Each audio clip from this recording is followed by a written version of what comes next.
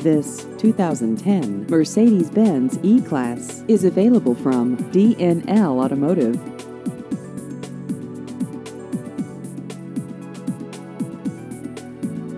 This vehicle has just over 32,000 miles.